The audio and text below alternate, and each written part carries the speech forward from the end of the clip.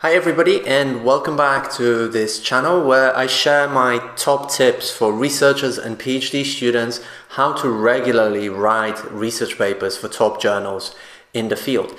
And in this video I want to talk about one of my um, top books, one of my favorite books when it comes to like productivity and you know and just being effective, right? And it's called Deep Work by Cal Newport. And this book really shows you the rules for focused work in a deeply distracted world. So I think nowadays we live in a world that's just so full of distractions that it's a really rare thing to be able to focus on something at length. And you know, research clearly shows that it's really focused and deep work that makes us more productive, makes us happier, and makes us more satisfied. So, if this is something that you want to achieve, then stick around and let's talk a little bit more about Cal Newport's deep work and how it can help you write more research papers.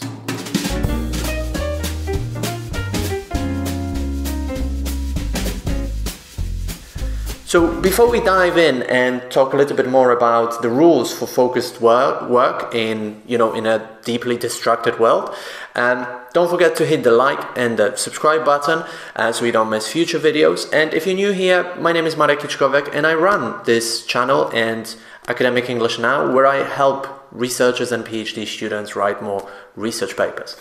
So, why is Deep Work by Cal Newport one of my favorite books? Well, it's completely changed how I view productivity and how I view work.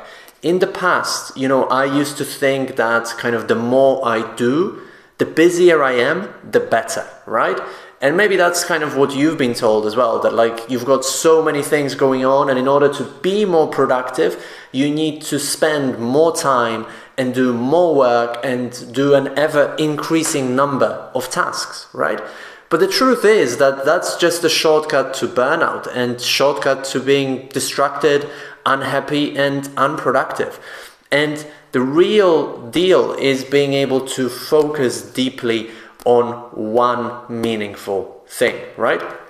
If you're having problems with focusing, I also have another video where I discuss it in more depth. But let's talk about Cal Newport's um, deep work. So he divides the book into three distinct part, uh, two distinct parts. Sorry. So there is the idea of deep work, and then the rules for deep work. And if you think about it, it's kind of simple. I mean, why first of all, do you want to engage in deep work? Well, first of all, you know, as Cal Newport says in his first chapter, deep work is valuable, right? It's it's something that will help you to produce amazing results, right? And as a result, just be more successful in life. If you think about any big project that you have to complete, you can't complete it in between scrolling Facebook and checking your email. You really have to focus on it at length for you know a very long period of time right so that's why deep work is valuable you know it's also rare why is it rare? Because you know our world is increasingly distracted. Well i mean you're on youtube yourself and maybe you should be actually writing your papers and not watching me talk about Cal Newport's deep work. So really you know being able to achieve this state of flow and deep work and focus is a rarity these days. And I think, you know, if there's one thing that kind of has helped me to succeed is the ability to do deep work. You know, I'm, I'm not going to say that I'm, you know, I'm an expert at it, far from it, but I'm probably better at it than an average researcher. And this allows me to be, you know, very productive and have a really good work life balance. Don't work at the weekends, don't work in the evenings, yet produce valuable work that my research community values and appreciates, right? And the third reason that Cal Newport talks about in, in the third chapter of his book is that deep work is meaningful. Now, you know, I don't know if you found it as well, but for me, really, like the happiest and the most satisfied that I've been with, you know, with my work um, is when I've engaged in deep work, when I've been deeply focused on something, you know, and you get into that state of flow, you get into the zone, as some people call it, right? And then just things, things just flow and time passes like this, you know, and you're engaged in, in work. And, you know, when you finish it, you're like, wow, this was, this was really good. Like I've done something really nice here. That's when I felt, you know, sort of the most meaning to my work. On the other hand, like, you know, when you've got a day when you're like constantly like in between meetings, answering emails and stuff like this, and you're never able to sit down for like two hours to do something deeply meaningful, I personally don't like days like that. They just feel frustrating. It feels like I'm not really doing anything meaningful, right? In in any sort of way. So that's the third reason why you want to be engaging in deep work. Meaning, giving meaning to your life, and as a result, you know, feeling more satisfied, happier, more fulfilled. Now, what are the rules for deep work? Well, Cal Newport shares four rules for working um, deeply, right? And you know, the the the first one is to is to find to design your environment so that it's conducive to, to deep work. Because if you're constantly surrounded by distractions, you know, you've got a very cluttered environment, you know, you're constantly bombarded by notifications from email and Facebook and maybe YouTube, then it will be impossible to do deep work, no matter how hard you try. That's why, for example, in another video, I've showed you my own desk setup and how uncluttered it is. And you should aim for a very uncluttered environment. And you should find space where you're able to focus deeply, right?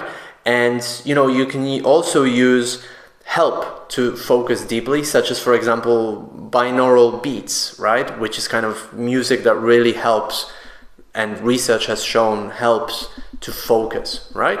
So, so that's, that's kind of the first rule of, of deep work. Now, the second one, which is very interesting, I think, is to embrace boredom, right? What, what does Cal Newport mean by that? Well, you know, if you if you think back to those times, if you're old enough to remember them, when there were no mobile phones, you know, and you were standing in the queue, for example, you know, at the shop, well, what did you used to do? Well, you just used to get bored, I suppose. You used to think, your mind would wander. Maybe you would chat to some people who were also standing in the queue.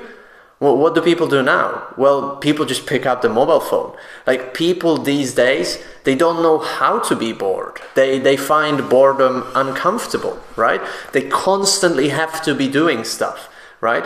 Which means that they're constantly distracted, which means that then when they have to do just one thing, for a very long time, they, they can't do it because their mind wants to do other stuff, right? The mind feels, you know, bored, uncomfortable. So you need to get comfortable with boredom. And the next time, you know, for example, you're standing in the queue and you want to pick up your phone, don't do it. Just try to let your mind wander and, and be, you know, and get comfortable with being bored. Because often when you're bored, that's when, you know, the best ideas will, will come to your mind as well. And the third rule that, that he's got is, is perhaps quite extreme for, um, for a lot of people is to just quit social media, right? And why does he recommend it? Well, because for most of us, social media are the biggest distraction there is, right? I don't know how long you've been on YouTube now watching this video, but very often, like, you know, you start watching one video and then another pops up and then another one, another one, and then by the time you know it, you've spent like an hour on, on YouTube and you don't even know why you've been here such a long time. And the same thing happens with other stuff like Instagram, Facebook, and all the other social media, right? So, of course, we can fight it with our own willpower, but it's extremely difficult, right? A, a much better solution is just to get rid of it, right? If you can't bring yourself to get rid of it or you need it for work, like I kind of need YouTube um, for work, then you know try to minimize it, right? And try to schedule blocks of time when you will allow yourself to use it. Um, delete it from your phone, right? So you can't look at Facebook on your phone, right? Try to put kind of barriers in between yourself and the thing that distracts you. And the last rule that Cal Newport shares here is called drain the shallows, right? So he, you know, kind of compares shallow work with deep work, right? So shallow work is this work that actually a lot of us are engaged in most of the time through our working day. It's like answering emails, you know, it's like going to meetings, it's, you know, it's all that stuff that's just very shallow on the surface, right? It might be necessary to like to keep your institution going or something like this, but it, it steals the time from deep, meaningful work. So in order to be more productive and at the same time have a really good working work-life balance, what you want to do is drain the shallows, meaning you want to get rid of or reduce, eliminate shallow work, right? Or put it in, you know, in pockets of time where you're going to do it. But everything else, as much as possible, should be devoted to deep work, right? And I've got another video when I talk about my top ma uh, time management tips for researchers, which you might want to check out. But, you know, if you think about it, right? I mean, you are in the position you are in, whether you're a researcher or a PhD student, because you're supposed to produce knowledge and write research papers. I mean, nobody hired you to take part in endless meetings or answer emails, right? That's shallow work, right? Um, you shouldn't be doing that you know a lot right you should be writing research papers that's essentially what you're there for right so what we need to do is just spend as little time as possible doing shallow work and spend as much time as possible doing deep work and the reason for that as well is that you know there's this thing called Parkinson's law and basically it says that you know the the amount of work that we have to do um, expands to fit the time that we allocate to it. In other words, if you allocate three hours to do to answer your emails, you'll spend three hours answering your emails.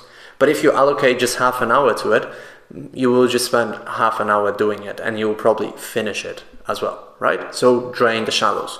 So if you're a researcher or a PhD student who's, you know, who wants to be more productive, but at the same time be more successful, happier, more feel more fulfilled, then I'd really recommend Deep Work by Cal Newport. And if you want more personalized tips and you want to work with me um, individually, then book a free one-to-one consultation. The link is somewhere below this video.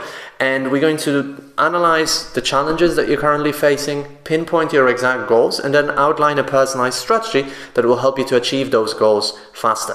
And the link to book that free consultation is somewhere below this video.